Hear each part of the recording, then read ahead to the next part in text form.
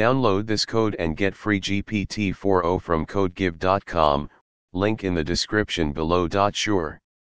VTK, Visualization Toolkit, is a powerful open source library for 3D computer graphics, image processing, and visualization.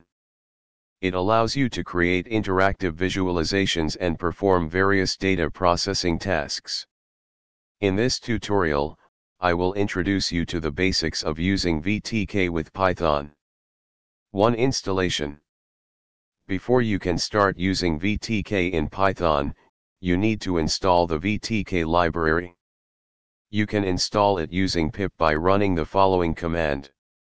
2. Importing VTK To use VTK in Python, you need to import the necessary modules. Here is an example of how you can import VTK. 3. Creating a simple visualization. Let's create a simple example that visualizes a sphere using VTK. 4. Explanation.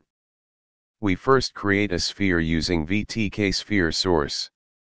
We then create a mapper that converts the geometric data into graphics data. An actor is created to represent the object in the scene. A renderer is created to render the scene with the actor. We create a render window and add the renderer to it. Finally, we create a render window interactor to handle user interaction and start the rendering process. 5. Running the code.